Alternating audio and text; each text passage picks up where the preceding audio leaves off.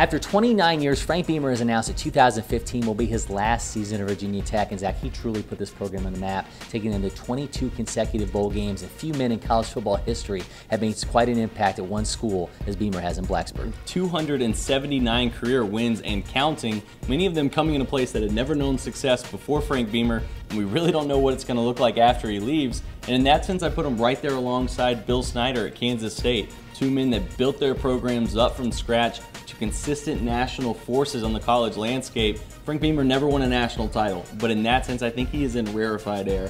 This announcement, we now have two major jobs in the ACC open with Virginia Tech and Miami. Zach, which one of these jobs is going to be more appealing? Miami still comes with the glitz and the glamour, and it has an excellent recruiting base and national titles but I do think it comes with higher expectations. And that's why I think Virginia Tech is a sneaky good job in the national landscape. They have excellent facilities, certainly a nice base of success, but not too high of expectations. Now, I still think Miami is the major job. It's the one that everybody's going to be looking at, but it's not going to have the greatest facilities. The attendance has not been great when Miami hasn't been great. So I think Virginia Tech is a sneaky good job here. The highs and the lows, though, of Miami, I think, are where they're going to get almost anybody they want in this coaching search. You can win a lot faster there. You've got that great recruiting base in South Florida, but you also have to go against Florida and Florida State, South Florida, UCF, on and on and on as far as fighting for recruits. But the thing about Virginia Tech, while this may be a long-term better job, I do not want to be the guy who follows Frank Beamer in Blacksburg.